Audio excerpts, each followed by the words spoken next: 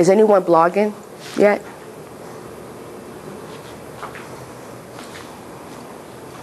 Blogging will help not only increase your traffic, blogging is going to help um, define you as an expert in your industry.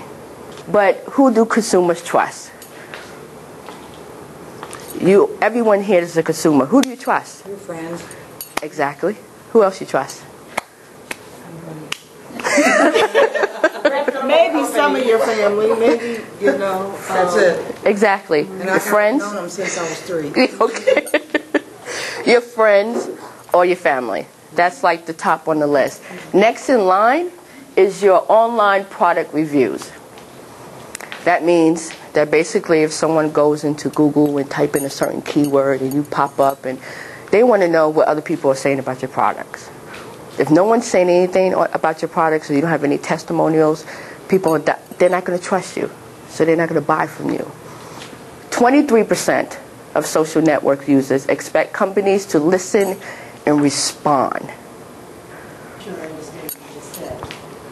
You just said that anybody that responds to your Facebook page or your blog or your social network interaction is expecting a response back. Exactly. if they purchase something from you. No, it's not even purchase. Not even purchase. I had a gentleman who went. Hmm? dialogue. Dialogue. Exactly. But definitely if it's purchased, because that's customer service. But if you are if you're promoting your business, you, you have to respond back.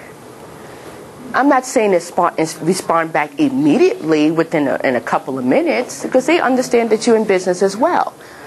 But as long as you, you respond back in a timely manner, I, I guess you, shaking your head like, oh, I can't. I was telling someone the other day, the Mm-hmm. older you get, you keep saying, yes, I can do this, yes, I can do that, yes, I can do that. And by the time you say yes so many times, your plate is so full Yes. that you realize that you're not doing anything well hmm because you're trying to do too many things. Exactly. Every time someone presents you with something, it sounds like a good idea. Mm -hmm. And many of the ideas are good ideas, but only if you have the time to really carry them out and understand what you're doing. Exactly. And that's the key, is understanding what you're doing. And a tool that might help me, might help you, is not going to be the best tools for you and for you and anyone else in the in the room. So what I do in corporate Cosmo, the first thing I do is we put together a strategy plan, a game plan. Because I want to make sure that, you know, whatever strategies that we come up with with my client is going to be effective and it's going to have some results.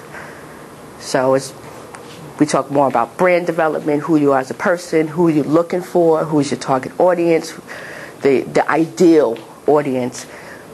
You know, do they use video? Do they read blogs? Do they listen to podcasts? Are they males? Are they females? Yes. You, everyone is getting started on Facebook, and the first thing you're probably racking your brain is, I don't have enough friends. Or I don't know anybody. Exactly. I don't have any friends. I don't have nobody clicking on the like page. I have nobody commenting. And, and some people get discouraged. And when they get discouraged, it was like, you know what? I, the social media thing is not for me. And you know what I tell everyone when they get discouraged? Whatever you're doing, as long as you are delivering and you are creating valuable content of quality, it will come. It doesn't happen overnight. Now, there are some tools out there that can help boost up your following, but you know, some are paid, some are not, but at the same time, you want to be pre- presented as transparent and authentic. So you want people to know that you naturally, organically brought people to my to their site because of what I'm the message I'm delivering.